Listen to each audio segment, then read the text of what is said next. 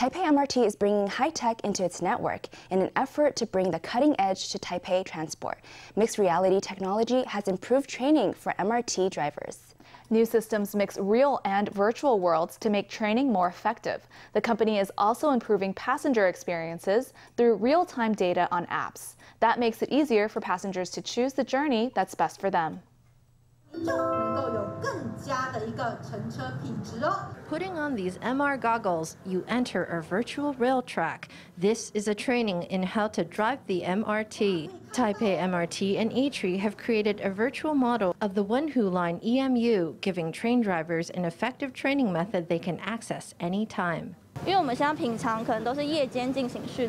Currently, we may often be in training during the night but because of noise disturbance concerns, there are some sections of the track where we can't train.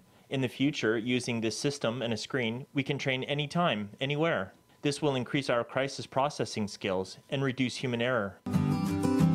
On the Taipei MRT app, if you turn on dynamic information, different colors alert you to the crowding level in each train carriage. Passengers can check out the crowding and optimize their route before they even enter the station.